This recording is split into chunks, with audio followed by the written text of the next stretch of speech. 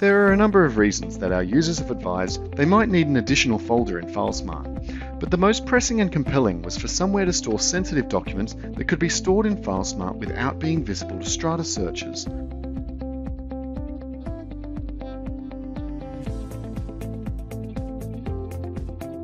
The Strata Miscellaneous folder can be used for storing documents that either don't fit into the standard folders or that need to be kept privileged from certain parties.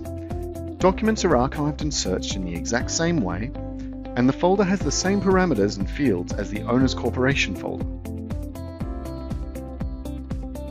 The biggest difference, of course, is when setting up a Strata searcher, you can allow access to one folder and not the other.